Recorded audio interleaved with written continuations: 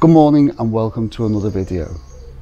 Today I'm just outside the gates of Carleton Cemetery and Crematorium. I'm looking for the final resting place of a TV legend.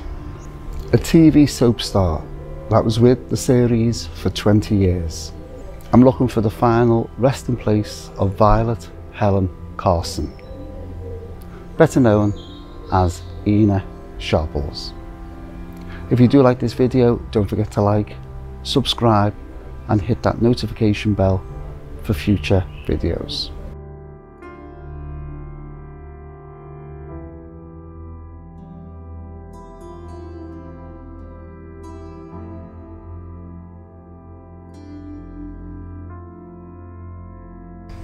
Violet Helen Carson was born on the 1st of September 1898 in Manchester and died on the 26th of December 1983 at the age of 85. She died in her sleep at home. Cause of death, heart failure. Violet Carson got her first TV major break in 1960 when she appeared in the very first episode of Coronation Street. She stayed in Coronation Street until 1980 when she retired. She was cremated here at Carleton Crematorium, just on the outskirts of Blackpool.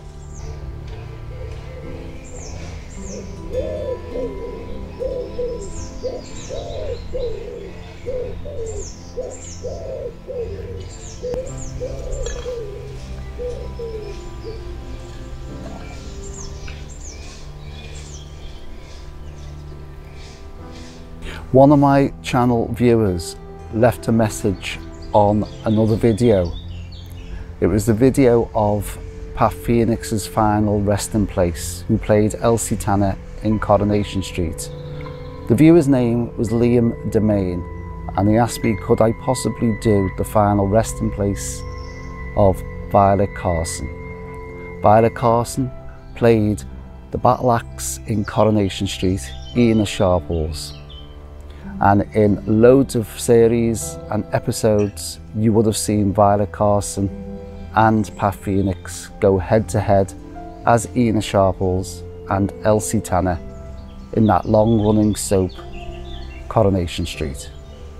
So here I am in Carleton Cemetery and Crematorium just outside Blackpool.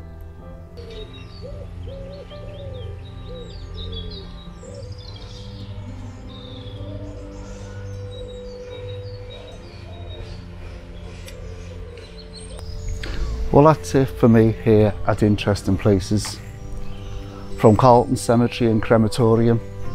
If you have liked this video, don't forget to like, subscribe and hit that notification bell. Thanks for watching. Bye for now.